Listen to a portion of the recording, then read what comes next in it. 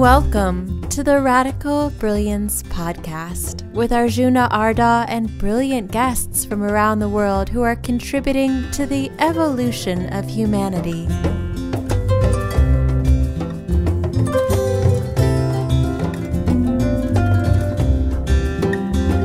Today's guest is Bill Gladstone, who's going to talk to us about whether you should write a book. So here's your host, Arjuna Ardagh.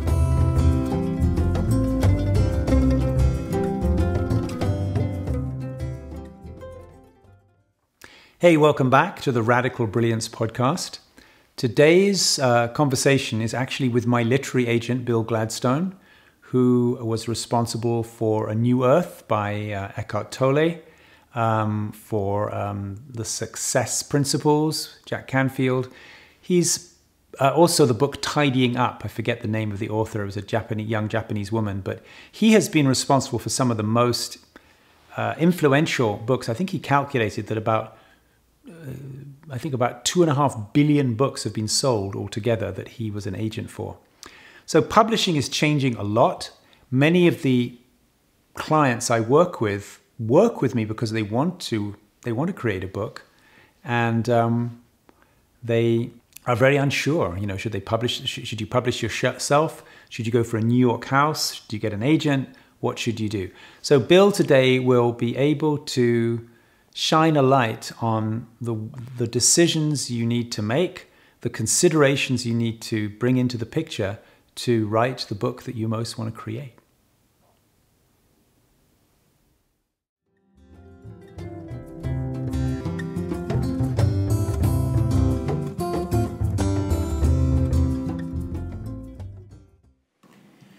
Hey, Bill. Good to see you. Good to see you, mate. Thank you for taking the time. It's always a pleasure. Yeah, well, you know, besides being my very much valued and esteemed and beloved literary agent, you've actually you've uh, accomplished some amazing miracles in the publishing world over the years. Well, we don't consider them miracles, though. If you watch Shakespeare in Love, anything to do with theatrics is considered a miracle to stay in business. Right. Was one of my favorite lines from the movie. But in the world of publishing, I have to admit we've been incredibly fortunate. So there's New Earth with Eckhart Tolle, right? New Earth with Eckhart Tolle, Tidying Up, Tidying Up with Marie Kondo, and then the whole Dummies. the Dummy series. you started the idea of Dummies, right? Well, my clients, yes, Right. yeah. I But mean, I represented it, I shepherded it. But and- you are yeah. officially the original dummy. Probably because I knew nothing about technology. When I sold that book, I didn't even own a computer. Cool. Um, and yeah, no, I'm very proud of what we've accomplished. I mean, and there's so many different ways you can measure it. We've agented over 10,000 different titles. We've 10,000 different titles, Wow. and we've generated over five billion with a B dollars in retail sales. With a B and two L's. yeah. Yeah. And over $500 million for our author clients. Wow. So, you know, for a small company with not many employees, it's an amazing accomplishment. You so could very- actually hang a sign up right here on, like McDonald's. on, on, on Oxford Avenue and put you could say books are us. And yeah, you- yeah, you it's right? it's it's very true. And um, best of all is not just the numbers, but I would say that at least 99.9%, if not 100% of the books that we've been responsible for as an agent have contributed in a positive way, not just to the authors and the publishers, but to the actual readers. Right. So all our books about technology enabled people to learn how to use it quickly and effectively. And then the main area of books right now, and uh, we used business used to be our second biggest category, but now it's really what they call mind, body, spirit. Well, just think Yeah. of the service you've done to sock drawers. Well, I don't know about that. world. I mean, so- socks are much more organized. Oh, that's just Marie. That's just one book, but Yeah, right. but important. I But think, I think you're going to get an award someday for s- services to sock organization. perhaps. But anyway, you know a lot about books. So, I, Mm-hmm. so in, in, in a nutshell, so I wanted to talk to you today about the state of the book. You know, because obviously books have been through this massive shift in their relevance, in the amount they're read, in the amount that they're produced. I mean, nothing has changed. No industry has changed more than books. Well, the biggest change in the book publishing industry is that one company now accounts for more than 50% of all revenue in North America. And that's Amazon? And that's Amazon. Right. If you combine the I print have thought book, it's more like 80. I'm surprised it's only 50. Well- where does the rest go? well, you still have some bookstores. You do? You have a few, and you you still have some other online companies which are selling books. Which Still 50%? over fifty percent. Right, right. Over fifty percent of all revenue from, and that includes ebooks and print books. Yeah, yeah. Um, they're number one in both categories. In the ebook category, the last figure I ha- heard was eighty-five percent. For Kindle, yeah. For Kindle. Right. And I'm sure, in terms of, we think about self published books, which is probably what we're going to focus on more today, I'm sure that figure must be much higher than 50%. Mm-hmm. I, I uh, mm, Mm, well, AuthorHouse is a hundred million dollar a year company, so that's Oh, okay. that's there's some significant players, um, but that, you're probably right. I'm I'm sure it's much more than fifty percent because last I heard, I think Amazon was doing over hundred thousand self-published titles a year. Right. I happen to be good friends with the individual who created CreateSpace and sold it to Amazon. Oh, they've really? Now, they've now folded. I thought it was founded by Amazon. no, the Amazon. It's like all the big companies take credit for founding things. All they did was CreateSpace has now been folded into KDP. Exactly. Right. Yeah. Well, let's talk generally about the, the, the state of the book today. And I, before we go any further, I, I want to just reminisce for a second with you, Mm-hmm. like, like for, for a little bit of auld lang syne here. I want to remember the moment when I realized that there was no turning back. I just couldn't have anyone but Bill Gladstone as my agent. And that was the moment that I sat right here Mm-hmm. on your sofa, and on the the coffee table there was a signed copy of 100 Years of Solitude by Marquez. Yeah, that's actually, I still have that book, and it's, you know, if there were a fire, it's probably the only possession I would Right. take. Right. Because, Before your wife. well, I w- she's not not a possession, possession. right. Come on, we're living in the new world. um, in terms of my relationship with Gabriel Garcia Marquez, I had a relationship with him long before I ever met him. I wrote my thesis at Yale remember on uh, Cien Años de Soledad, 100 Years of You Solitude. studied Spanish I literature? st- studied Spanish literature at Yale. Uh, I actually won an award for the essay I wrote comparing Cien Años de Soledad with Don Quixote. And uh, they even paid me some money. I won some big prize. I forget what it's called. I graduated highest possible honors and all that good stuff from Yale. And I really felt that Cien Años de Soledad was the best written novel I had ever read. Absolutely. And just let me put a quick plug in Mm-hmm. for any kind of, I don't know who it might be, younger readers or something. This is probably the, the peak of that's ever been achieved in fiction. A 100 Mm-hmm. Years of Solitude. It's available in a great English translation. Wonderful, wonderful translation. It's it, it it's like for me it's like it was virtual reality before anyone thought about virtual reality. My favorite moment is the ant who whenever she arrived whenever she appears there are golden butterflies. Butterflies. Remedios la. Bella. Yeah. Yeah. I, I haven't read the novel in the last 20 years, though I read it at least a dozen times because I also taught the novel when I taught Oh, right. uh, Spanish at Phillips Academy Andover. I taught Yeah. it. But um, so, yeah, I'm just a big fan. And so I was very fortunate when I wrote my novel, The 12. Yeah. The international publisher for the Spanish language edition was Editorial Planeta, which just happens to be the same publishing company. They, they are the largest Spanish publisher in the world, and they were Gabriel Garcia Marquez's publisher. And I just was fortunate that my editor was his editor. Right. So when I learned that, I asked her to give a signed copy of my novel in Spanish to Gabriel Garcia Marquez. And he, in exchange, uh, read the novel and enjoyed it and sent me a copy of his novel in which he had crossed out on the title page Soledad and written Cien años de felicidad, 100 Years of a Happiness. hundred years of happiness para mi, mi colega y amigo, to my colleague and friend William Gladstone. So a very personal, well crafted Wow. message, as you would expect from the greatest writer, I think, of the Yeah, 20th century. in, in, in and and so that you know, I, I and I think this is relevant to this discussion. You know, what is the state of books? Will we ever have writers as fabulous as Gabriel Garcia Marquez? I mean, is there? and will they be read? Well, will they be read?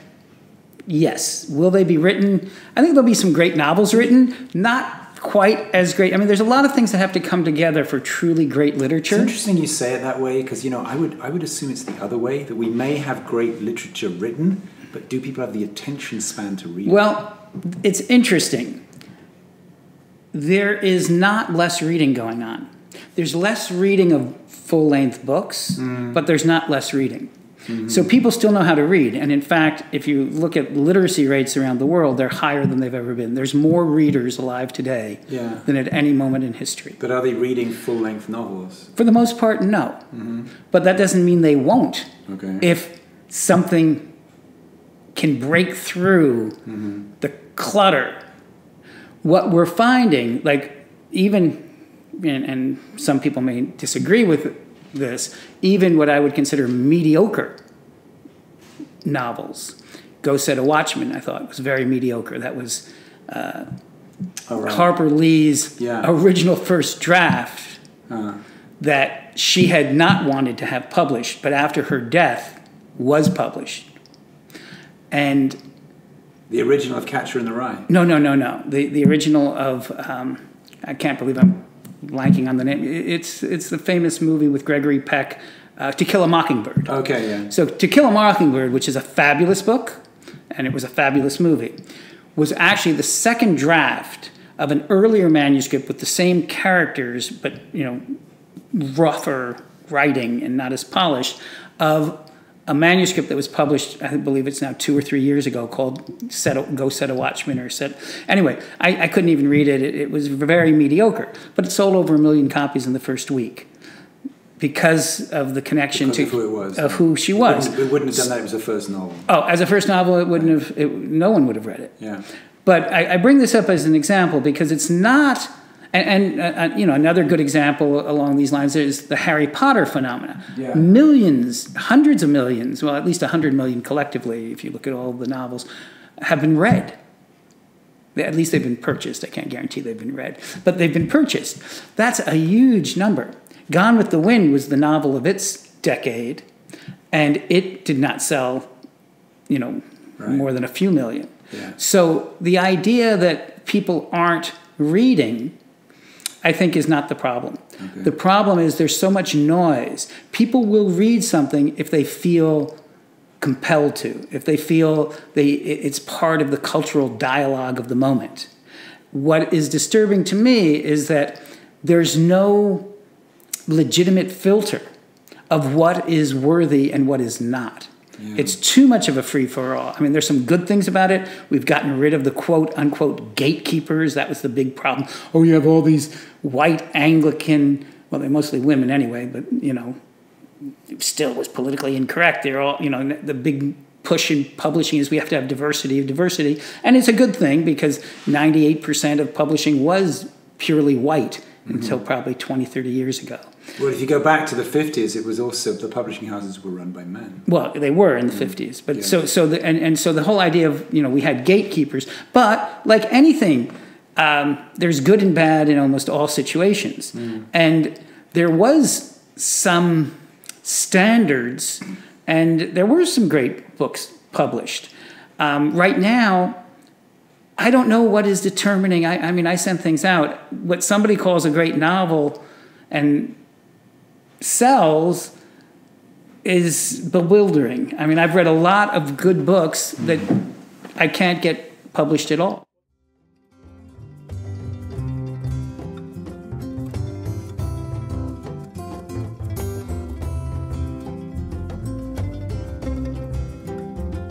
If you're enjoying this podcast with Arjuna Ardagh and his radically brilliant guest, you might also enjoy our eight week online group coaching program. It's an opportunity to go deep and get stable in practices that enhance your own brilliance. We only take 20 participants at a time, so in a small and intimate group, you can go through the whole Radical Brilliance cycle you'll have an accountability partner in another brilliant aspirant from somewhere around the world. The eight week coaching program involves eight one hour webinars with Arjuna Ardagh and a group of other radical brilliance coaches. You'll also receive one 30 minute coaching session with your own personal coach every week and one 90 minute coaching session with Arjuna himself. It's the ideal opportunity to drop deep into yourself, into the source of your own creativity, and to get support for an entire eight weeks of mining your own radical brilliance and bringing it forth into a project or creation that can truly serve the future of humanity. Find out more at radicalbrilliance.com and click on the Programs tab. Well, let's expand beyond mm-hmm. novel now to yeah. books generally, because I know a lot of a lot of the mm-hmm. books you've had the greatest impact with were not fiction. Mm-hmm. And I, I want to also do a do a bit of a flip now to, to the perspective of someone who has something to contribute. Mm-hmm. Okay, so you know I, I'm a coach. I have coaching clients. You're a literary agent. You have authors, but I frequently have connection with people who have who have something to contribute which fairly obviously is going to uplift the collective. It's going to be an upgrade in well, their industry. This is really the reason, in addition to our primary activities, which generate over 95% of our revenue, which is the agenting, we have our own publishing.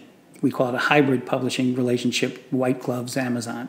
Amazon will publish any book we present them as a Kindle with the option for print on demand, and they will promote any book. That's the contractual obligation. And the reason they're doing this is they are hoping that some of our best selling authors will choose this option, and some of them are. Mm-hmm. So it's a win for Amazon, right. and it's part of Amazon's Machiavellian desire to eliminate all of the major publishers in the long run, which they may succeed in doing. But in the short term, my function is to assist my specific authors, and I've given up any hope of dismantling Amazon. So I'm fine working in partnership with them mm. and taking advantage of what they are offering in this moment, despite the clear concerns we all should have of having one company be yeah. in a monopolistic position yeah. controlling future sure. culture. But in the short term, um, Amazon is actually contributing to diversity because they are, through their KDP program and our program, making it very cost effective to self publish. Yeah. We consider what we are doing right. hybrid publishing because well, we, we, we bring time, we bring in well you still we, we call it hybrid because we insist on quality we insist on editors we insist yeah. on book designers and yeah. cover designers I mean they're self publishing without standards and then they're self publishing with standards yeah so we think you know, let's keep the standards. But the future for someone who has something important to contribute is excellent. They may not be able to find a traditional publisher, right. but that doesn't mean they can't find a way to publish point. their That's book. That's a good point. So if we look at this, if we look at look at somebody in their particular industry. Let's mm-hmm. say, you know, I, am working with somebody right now in medicine who has completely game-changing ideas about medicine. Mm-hmm. Simple ideas. Those kind of ideas, when you hear it, you go, "Yeah, of course. Why didn't anyone say that before?" You know, and, mm-hmm. and, and there's a lot of people in different industries. This is what's sometimes called, you know, disruptive thinking or mm-hmm. disruptive mm-hmm. economics, where you just you ask this question like, "Who says it has to be that way?" And reinvent it. Mm-hmm. So what you're saying is, in a way, today it's better than ever. Although people are kind of distracted by YouTube and uh, other, you know, and, and, and the easy availability of entertainment on their laptop computer, you're saying in a way it's better than ever because the, the, the possibility of being able to get into print is much easier than it has been. Much before. easier. The potential less, is yeah. there. And there's they, less of a delay as well. Oh, right? much yeah. faster. Yeah. Um, you can you can finish your manuscript yeah, the next the, day. The, the, the problem, of course, is you know and there's different terms for it, but discoverability is yeah. the big term. Yeah. How is anyone going to discover that the book you just spent six years yeah. writing and six months organizing for publication? Mm. How is anyone even going to know it exists? Right. That's one of the reasons you know we're happy with the White Gloves program. At least we get some initial promotion. Yeah. From Amazon, but for someone just doing it on their own it's all up to them. Yeah. So um, I'm I'm thinking actually, I'd like to get back to somebody thinking about writing a book. You know. Mm-hmm. So let's let's go back to like why would you do that if you have something to contribute in your in your field and you you you're thinking, well, I could write a book, but I could not, you know, because I'm probably not going to sell a million copies anymore. Like, Well, you're probably not going to sell a thousand. Or exactly. The average self-published book sells fewer than 200 copies. right. So, st- so would you say, based on that statistic, don't even bother? Or, No, not at all. The main Okay. reason to write a book is to organize your own thoughts. Yeah. So let's talk about that a little bit. Mm-hmm. Yeah.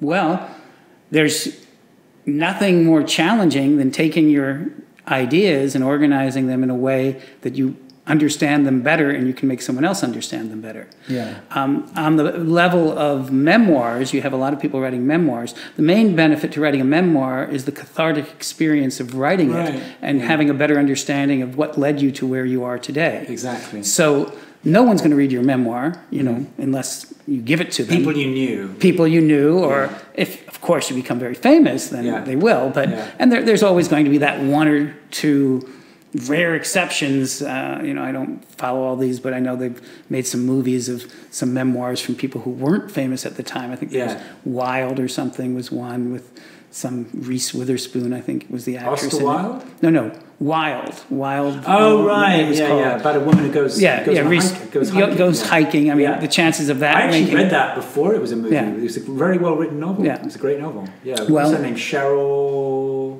I, I, I Yeah. didn't read it, so I don't know. I'm just, I was just throwing that out as an Very good example. read. I don't read I, mean, novels. Good or in the nonfiction area, I think this this uh, there's a book. I, I can't remember her. She's the number one right now. Hollis, I think. Girl, wash your face. Okay. Apparently, it's it's got some kind of Christian connection. I haven't read the book, but again, out of nowhere, and this book is selling very well. So Okay. it happens, but if you look at it, it's literally like buying the lottery ticket. yeah, it's exactly. It's, it's literally one out of a hundred thousand. Yeah. So for most people, if you're going to write your memoir, you're writing it because you need to write it. It's Mm. important to you to connect with your own story, Mm. and the hope that you know people who know you at least will be moved by it. So I- and yeah, and maybe there's a there's a long shot that somehow your story is universal, and someone's going to connect with it, and it'll lead to getting the movie made, and you know Yeah. there you go. I think what, what, what I'm hearing you're pointing to is a distinction that maybe we would be benefited to come back to is, is the notion of creating because it wants to be created or creating because there's something to be expressed and to some degree letting go of the idea of how many people are going Oh, to absolutely. You, you, I mean, there's there's different moments in time for someone to write a book because they have information that is absolutely critical to a large number of people, Yeah. and it must be written and shared. And Yeah. you know, in, in a sense, I would say even some of the the computer how-to books we did were like Yeah, that. I mean, yeah. there's when they first came out with Windows, people were desperate that you know Yeah. how do you use this stuff? Right. So that was clearly, and you know, unfortunately for everyone involved, had tremendous commercial potential. yeah. Other books, it may more be like the world is headed in the wrong direction. You know, like the first, like I, I'd, I'd say Al Gore's book at the time he did it was Yeah. a good wake up call for humanity. Um, you know, But Al Gore had previously been the vice president. Yes, of of course. So, or, or which which came first? Actually, was it the book or the? Or no, he had already been vice president. So what About, I mean, he ended up winning a Nobel Prize for you know. So what? Here's here's what I what I notice a lot is somebody who really cares. Mm-hmm. They really want the world to be a better place. They've got their angle on it, Mm-hmm. but you know, like you said, there's a one in a one hundred thousand chance of. of Well, there are things they can do to increase their chances to maybe one in ten thousand, which is still good. You know, Okay, not, so what are not great. Well, you should do some of the things you're doing. You should create a blog. You should contribute Go to. interview your literary agent. well, no, don't be a literary agent, but no, I said go interview your literary. Oh, agent. go interview, uh, perhaps. Yeah. Um, well, most people can't get a literary agent. You Yeah. had you had enough going that you could. It's not easy to get a literary It's my agent. good looks, I think. But but you. um, you need to self promote no matter what you do, even for Yeah. people who are successful. People don't like to do that. You know, pe- people who like to write often don't. They, they, they That's feel, true, They but- it's beneath them to self. Well, but there's there's different ways of looking at it. I've never looked at it as self promotion so much as sharing information. Right. If you have important information to share, Yeah. share it. Right. And if it was worth your time to write the book, it certainly is worth your time to promote your book and to What, get. what is what is? In, I mean, you've. I think you told me. You told me about somebody. Who was it now? You were telling me about a book that you. That's, I think it's not even come out yet. Somebody. Somebody was talking about how he got like a million likes on Facebook or something. It was somebody had a formula for doing that. Oh yeah, one million followers. Yeah, there you go. Yeah, I just had lunch with that author yesterday. Is he? Is it out? The book? the book just came out. I'll give you a copy. You can Oh, use it. I, I, yeah, okay. I don't know if It's a great book, One Million Followers I by Brendan Kane, BenBella Publishing. Right. Uh, yeah, it's, it's a book that everyone who's serious Right. about promotion should. Well, obviously, if Follow. everyone had a million followers, it would be very chaotic. But but obviously, some people have a million followers. But what are the what are, what are the most important principles of getting your work to the right people? And, before you answer that question, I want to actually throw a little spice in the mix here.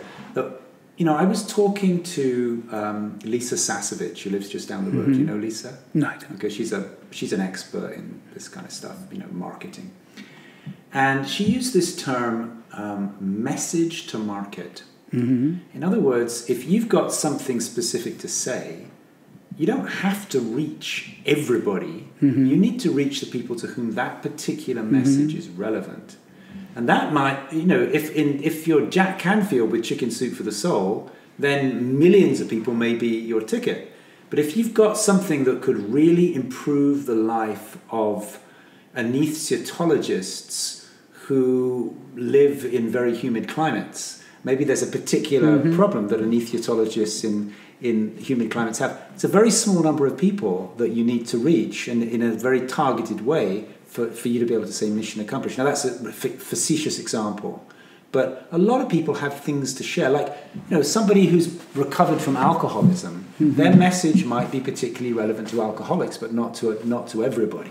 Mm-hmm. So so when we talk about numbers, there's also a question of choosing of, Well, of, of well, and I mean, this, you make two points that are very close to my way of thinking about why we do what we do. Mm. One is it's very important that we maintain cultural diversity. yeah. And just as we have biological diversity, and we're losing a lot of that, um, we're also using, losing cultural diversity. Um, and as any biologist will tell you, it's not the number of units of a particular species that's going extinct, it's the diversity as a whole. And it's true here if you are making the cultural analysis, because it doesn't matter if you're only reaching 10 or 20 people. If it's a group mm-hmm. that would not have any presence at all, mm-hmm. that's important to the collective. Yeah. And the other thing that you can mm. think about mm. when we started with our books about how to use computers, the audience was very, very small. Let's stay with that point for a minute because I just you just Yeah. touched me so much in what you just said. Because I'm just thinking of I just as you said that, I, my mind started going to examples of tiny subcultures which, when they don't have a voice, um, suffer a kind of marginalization and often a kind of bullying.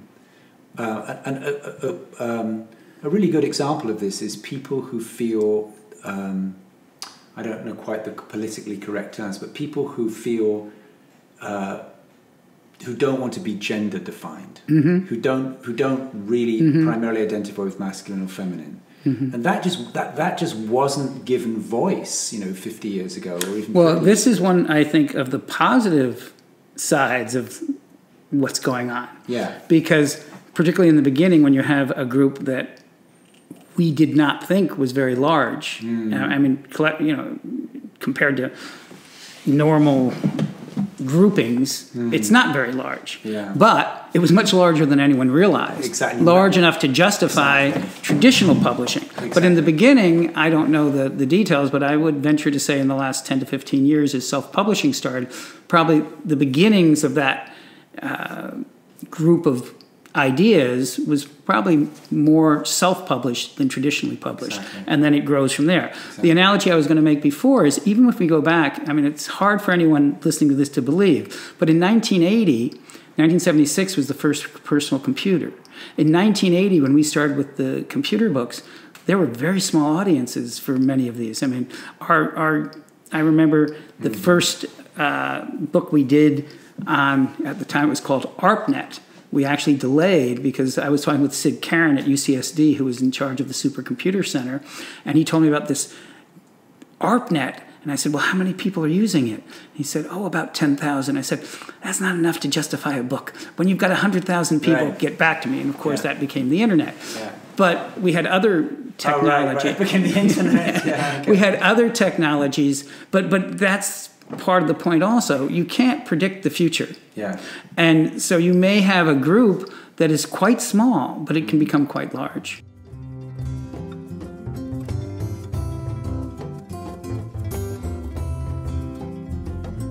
As you're listening to this conversation with Arjuna Ardagh and his radically brilliant guest, you might feel inspired to go deeper into your own expression of radical brilliance. Come join us for a one week Radical Brilliance Laboratory held in a beautiful rural location in the Sierra Nevada mountains of California. During the laboratory, you'll have an opportunity to dive deeply into all four quadrants of the brilliance cycle. This means you'll be able to explore experiences of consciousness without boundaries. And you'll be able to start accessing original impulses of creativity from within yourself that can become your unique contribution to the world.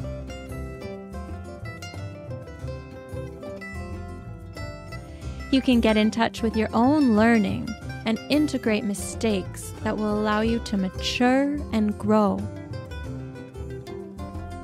You'll have the chance to deeply mine your own resources as well as connect with other brilliant people in a small, intimate context for a week.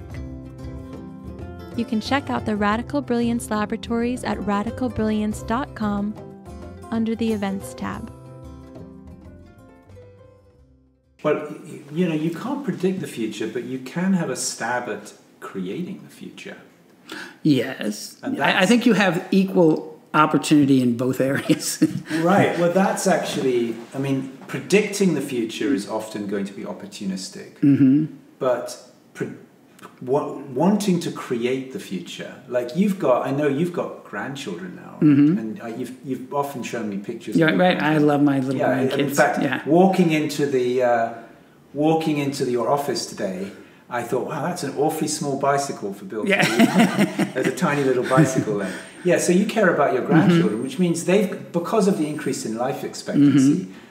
Your grandchildren are probably going to see another hundred years, you know, mm-hmm. right? So what, with that awareness, we can start thinking about what is the contribution that we can inject into the collective, however modest it may be, that shifts the future in the direction that we want to create. Well, absolutely. I mean, that is, I mean, if you look at our website, our, I don't know whether you call it mission statement or mm-hmm. we just put it up there. We didn't think of it as that, but is to help authors and publishers create and distribute books that will create a better world.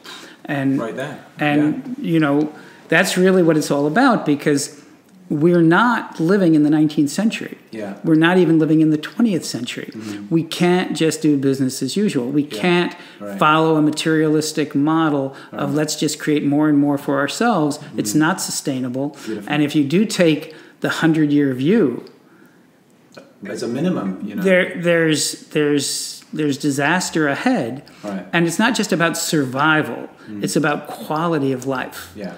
And you know, when you have grandchildren, and I'll probably live long enough to have great grandchildren, um, you want to have quality of life for yes. your children, grandchildren, and exactly. great grandchildren. So, so how does publishing fit into that? Well, I think publishing has a very important role because mm-hmm. yes, there's a lot you can do with tweets and apps, mm-hmm. but to really develop a full concept, yes. you often need a full book. Right. The other reason is if you look at the entertainment side, and I think the entertainment side is underrated for its importance because people are moved more through novels than nonfiction. Absolutely. And if you can create a novel where you have characters that you really care with and yes. about and identify with, you're more likely to have an emotional Good. catharsis yeah. within yourself and to become aware Absolutely. of something new. And so you can't do that. You can do it, you know, different people, you know, have had success. You can be a great short story writer and novellas, but yeah. but there's certain times when you really need a full book. Did you ever, So I don't ever think that, you know, full-length novels will disappear. Did you ever represent Gay, uh, Gay Hendricks. Yes, I, I still do. Yeah. yeah. What, what did you? What, what, what, did you? Well, we just did one of his nonfiction books. We did his three You novels. Did? You did the, three novels. I, the- I actually the- introduced Gay to Tinker Lindsay, who, who Mm-hmm. co-created those with him. but yeah, we, we have a lot of fun. He's Yeah. a brilliant, Well, brilliant writer. Gay actually gave me this little formula years ago. He said, if you've got something to say, say it really briefly in a paragraph, then tell an amazing tear-jerking story that illustrates what you just said, and then and then sum it up at the end. And once he explained that to me, I started looking at mm-hmm. these at, at his books, and sure enough, they all follow that formula. Everything's like. Here's something to think about. Here's the story. Now, what do you think about what you do? And there's nothing wrong with following a formula because the formula is just the structure. Yeah. It's the individual It's the story, story is where you get yeah. the creativity. And that's, of course, you know, Yeah. chicken chicken soup, which Yeah, uh, Jack Canfield. Jack Canfield Mark. I think it's probably the best. What is it? The best selling. I mean, it's, I think it's 500 million. Well, that's that's including that's, that includes the Chinese. Yeah. Yeah. So Yeah. Well, which is why hard would we to exclude dispute. the Chinese? Well, because well, he never got paid. So as an agent, I'm only I got paid for. Still, 500 million people have bought those Yeah. books, wha- whatever the economics. So, and those are stories. You know, those Mm-hmm. are actually make those are making points through telling stories. So that's a it's a super important insight we Mm-hmm. can bring to this. That actually, you know, and that's the work that I do in in coaching people. And I, I've Mm-hmm. got I only take seven people a year in coaching, Mm-hmm. and most of them end up actually. I mean, half, more than half end up writing books that I help them with. And the biggest thing I have to explain to people is you can put as great a concept as you like together, but it's going to leave people cold. It just goes to their head. Illustrate your concept with a story. Hmm. You've won everybody's hearts. You know. Well, in the beginning, before we had books, we had storytelling. Around the fire. And there's a reason we had storytelling. And if you look at the myths, if you go back, I was a student of Claude Levi Strauss in anthropology, and there's no society that has been identified that doesn't have creation myths, Yeah. that doesn't have um, the equivalent of Aesop's fables of good and evil. And Yeah. I mean, it was how societies nurtured their young with Yeah. their stories. Yeah, yeah, beautiful. I want to stop. um, bringing this to a graceful mm-hmm. landing here. Mm-hmm. Um, and I'm, I want to think about somebody who resonates with what we talked about, like the hundred-year future. You know, mm-hmm. the future that we don't even get to see, but, but we got to contribute to. So I meet so many people who care that way, who really, who, who at least want to make sure that their life is maximally contributing to the solution and not contributing to the destruction. Somebody like that listening to us talk, who might have the seat, that who's, who's got something to contribute. Let's think of a few takeaway bits of advice, you know, from, from, from so much experience of, of, of where, where you could get started with, with writing a book. You've already given us some advice about knowing Well, you. Hmm. use your your village. Yeah. I mean, that's why you know all the millennials talk about their tribe. Yeah. So have involvement with your tribe. You, you know, mm-hmm. there's a group of people out there who have interests similar to yours, whatever they might be. Mm. Communicate with those people. See how you can help them. Yeah. And in that process, something may evolve for you you that enables you to share your particular passion mm-hmm. with a larger audience. Oh, beautiful. And also that by helping, it's really the key that I've learned through everything that we do. Um, it's really by helping others that you help yourself the most. totally. Because when you get out of your ego and you really get into the purpose and you are able to identify the needs of others, that magic happens. I mean, that's where the miracles come from. Yeah, for sure, for sure, for sure. It's great advice. What are, what are your preferences on you know capturing insights? Because insights tend to pop up in all sorts of, you know, I have this kind of Murphy's law that I'm going to have my best ideas when I don't have a voice recorder available. You know, so what, what are your Well, I don't. I don't mm, record. You know, I, uh, when I meet with, I have certain clients that I think are going to be great, and so we do record, um, particularly if they've not written before because they don't necessarily know how to write a book. So to get the raw information, we just sit and talk and record, Nice, and yeah. sometimes it leads to books, and sometimes it doesn't. But you know, That's if- something you did with uh, with Marissa. Marissa, Yeah, that, that's how we, we, we didn't know where it was headed. In the case of Marissa, I did feel that she was bringing through, she's a trance channel. I didn't know what a trance channel was. Mm-hmm. I didn't necessarily even believe in it. But as I met with her and, and things happened that had no logical scientific explanation, I truly did become a believer that she was bringing through very rare information that Yeah. could have significant long-term value. Yeah. So that was really our only motivation to kind of create an archive of these. And then we did turn them into books, not so much that we've done anything commercially with them at all, but just so that we had a written, uh, edited version of the transcripts. So that's a very useful way of, of recording ideas. In terms of shorter inspirational things, nothing's wrong with this 100 word and less uh, tweeting world or whatever it is. Oh, it's much less than 100 words. Well, uh, it, it used to be 140 characters. Now it's 280. 280, yeah. Okay, well, you're getting closer to 50 words, certainly. yeah, yeah, you can run But- a whole country. Yeah, you, well, apparently, or, or run it into the ground. Either way, but um, yeah, there's nothing wrong with with uh, short. You know, I, I don't use Twitter personally. I Right. just, but I don't use technology. I have other people do all that for me. I have when a, a book of mine comes out, they'll ask me to write some tweets, and I'll just write hundred tweets, and then people send them. Okay. But um, you know, I'm spoiled and privileged. But um, for those of you who don't have a staff of people to, you know, do everything for you, yeah, they're, they engaging in the right proportion with social media and getting feedback that way, whether it's through LinkedIn or some of these other uh, opportunities, can be useful. You know, you just don't want to overdo. I mean, Yeah. I'm the extreme. I have never gone on Facebook. I have a Facebook page. People do that for me. I know. I've tried but to I, stalk you I, times. I, I've never been on Instagram. I've never been on anything. Right. That's probably extreme. Mm-hmm.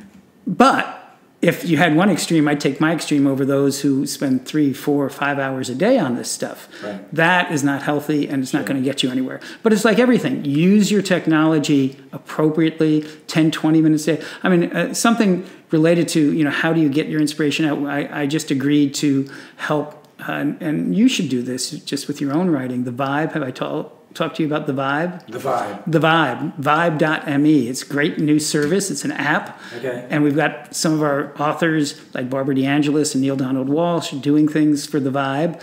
And then we have our own Waterside channel. And basically, it's, I think you pay two or three dollars a month. And every day you get a new Vibe message that resonates with, you know, whatever your area of interest is. It, it's a lot about mindfulness. Uh, Right. you, you would resonate with it. So Okay, cool. I'll definitely, if nothing else, connect you to The Vibe. Vibe me up. I'll yeah. vibe you up.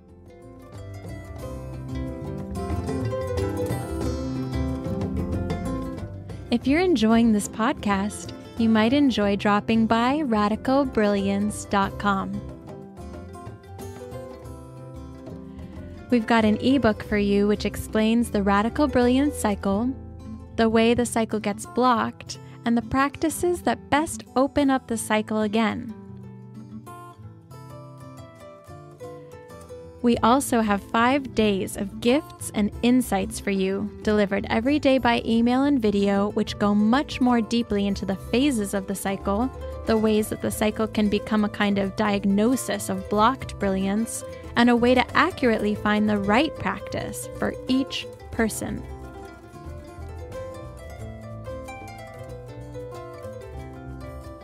In addition, you'll receive a video about the single most important practice that we have determined affects brilliance, and another video about everyone's favorite topic brilliant sex.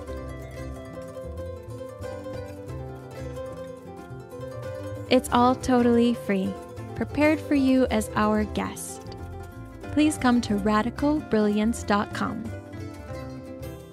Register on the homepage and you'll receive the ebook right away. Then you'll be guided through the five days of videos to take you deeper into your own radical brilliance.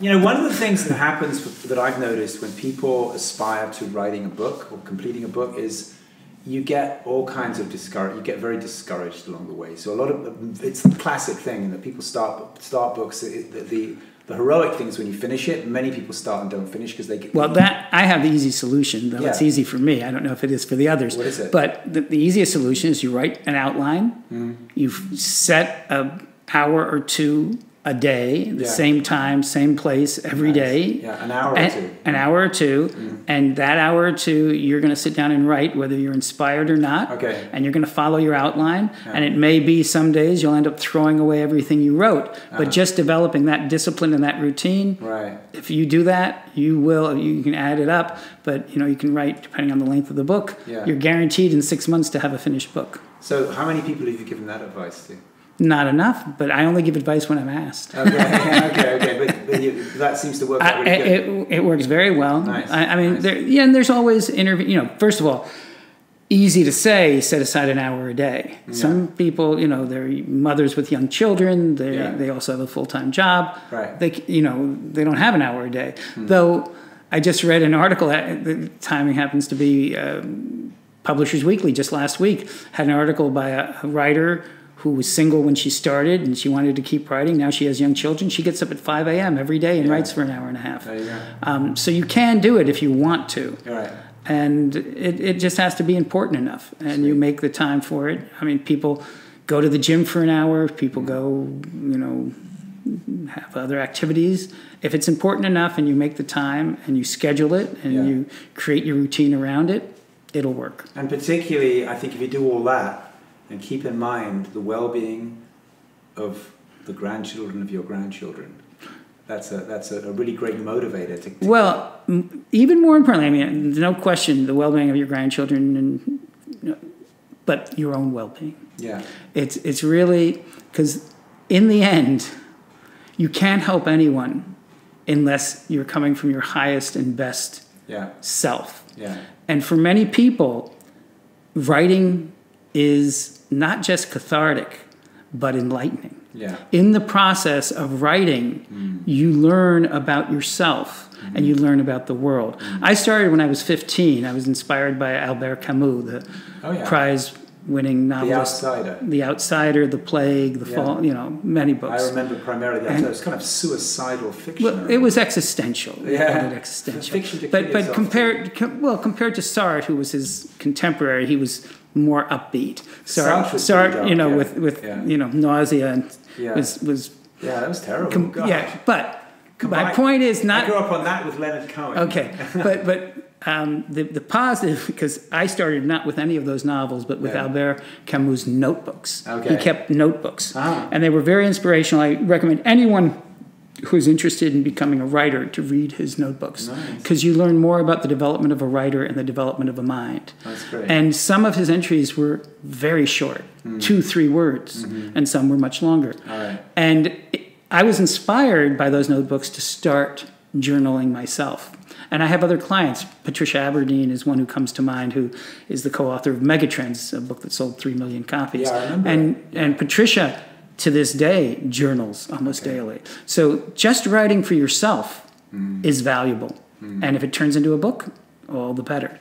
And in the process of connecting with your highest and best self, you will be making a positive contribution to the future of your children and grandchildren. Fantastic. Bill, thanks so much for taking Oh, the time today. okay. Yeah, awesome. Thank you.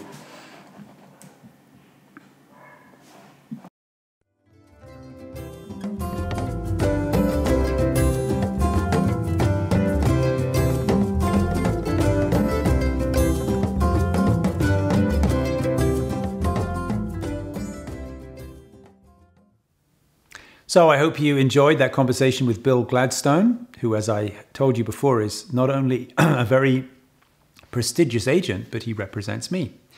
So, having heard that conversation with Bill, I'd like to ask you to reflect upon the book that most wants to be born through you. If you were to write a book not for money, not for fame, but simply because it's the most accurate, honest expression of your heart, what would that book be? Take a few minutes to contemplate, um, with all of the uncertainties of publishing, if you wrote a book simply because you have to, simply because it demands to be given birth through you, what would that book be? See you next time on the next episode of the Radical Brilliance podcast.